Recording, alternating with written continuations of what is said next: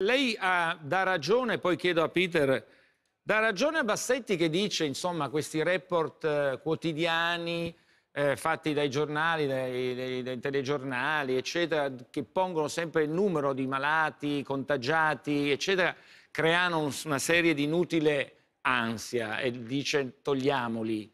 Ha ragione Bassetti?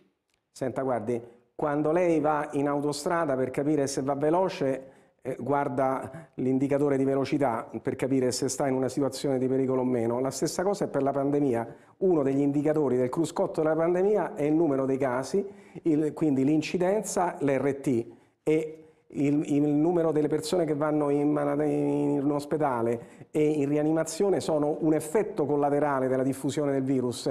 E questo è il problema. Guardi, io penso che mi permetta da analfabeti di epidemiologia queste di, dichiarazioni analfabeta di epidemiologia.